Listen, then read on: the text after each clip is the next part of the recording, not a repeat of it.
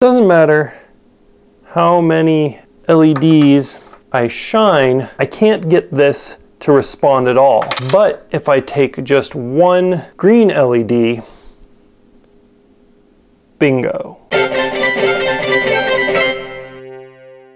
So what's so special about this LED? Now normally you just put a voltage across the LED and light comes out. This one happens to be green and no, that's not a coincidence. But a neat thing about how LEDs are made is that you can actually shine light on them and have them work in reverse, like a tiny solar panel. And what I demonstrated here with my voltmeter is called the photovoltaic effect. You might have heard before solar panels being called photovoltaic cells, and that's because they operate on the same principle. Deep inside of an LED are two crystals that are lined up right next to each other. Now, there are a lot of other videos online that talk about the structure of those crystals in detail, but for our purposes, all we really need to say is that if there's an electron inside of the crystal, it sees a landscape that repeats itself regularly in all directions, kind of like it's on a checkerboard. But I said that the LED, in fact, all diodes have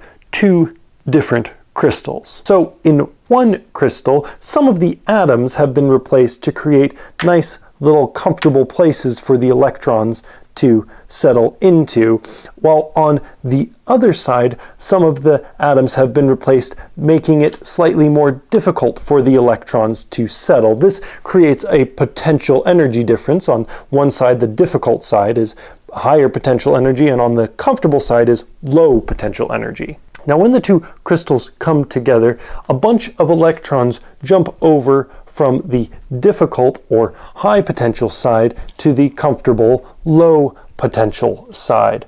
Now these, since they've settled down, create a negative charge area so that any electrons drifting through will get repelled by the like charge. This region is called the zone of depletion and creates a permanent static charge. Just like electrons jump onto a balloon when you rub it on your hair or a sweater.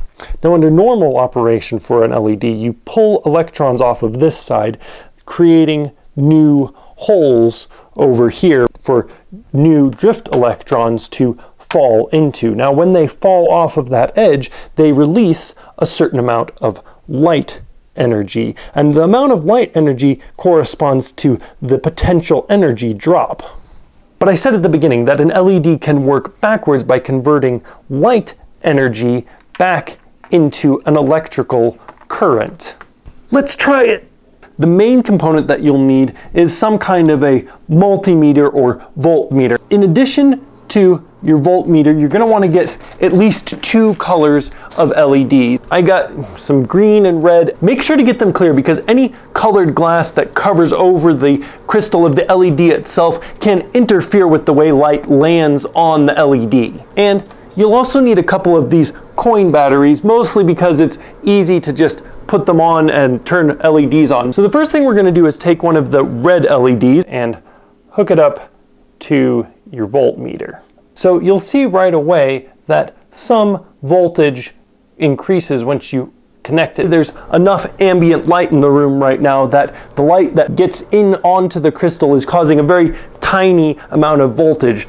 But if you just take a uh, red LED and just shine it down into there, you can see immediately that you get an increased voltage. And that's with just one LED.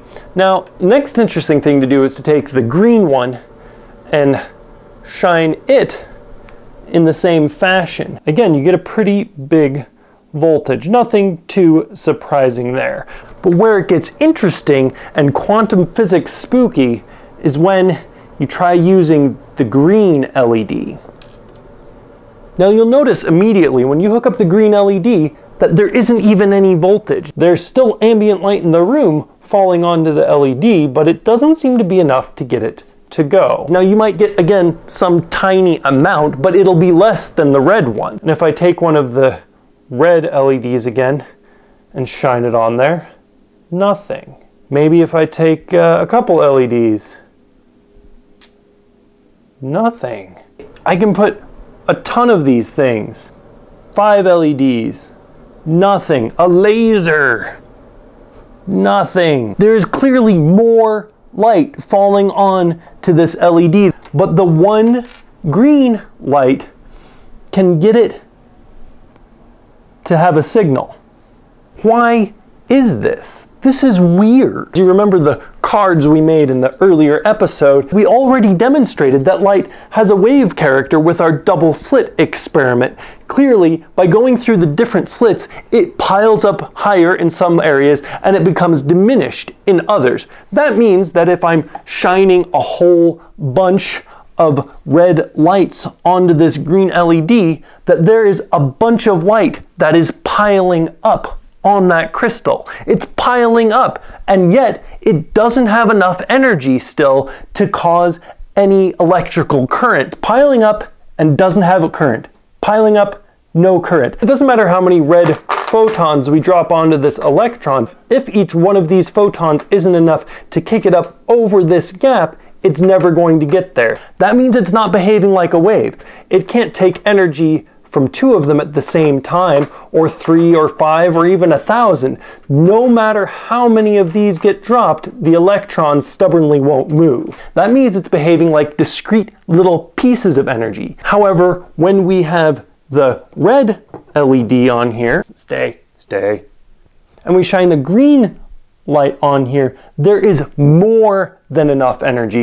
So when a green light comes in and hits the red crystal, it has more than enough energy to kick an electron loose up higher than the potential energy difference and send it cascading around the crystal because it'll get repelled from this zone of depletion, which is a permanent static charge. So we have proven that light behaves like a particle, that it moves little packets of energy around and that in a light, if there's not enough for each packet of energy to, say, move an electron, it can't do it. But didn't we prove in the last video that light behaves like a wave? Yeah, about that.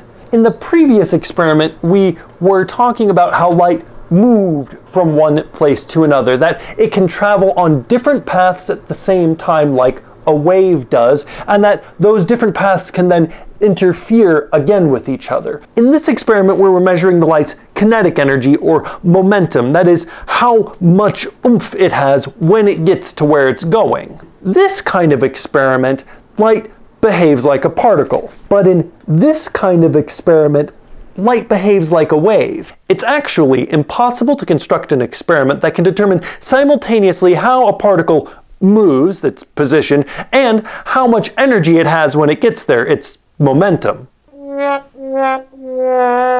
Uh, no, not like that. This is actually two experiments because when the photon goes through the double slit, the double slit actually slightly affects the momentum of each photon, and that new energy from the new momentums is actually what gets measured and what has to overcome the energy gap in the LED. This is an example of incompatible states. You usually hear this bandied about as uncertainty, the uncertainty principle, or Heisenberg's uncertainty principle, or that you can't measure the momentum and the position of a particle at the same time. But there's actually a different experiment that shows this, and that will be the subject of the third of these quantum basics videos. If you want to catch that, go ahead and subscribe. In the meantime, I hope you try this one out because there's nothing quite like experiencing quantum physics for yourself. But you don't have to take my word for it because you can science it. Come on, I wanted it to turn on. There, all of you, all of you. Oh, that's fascinating.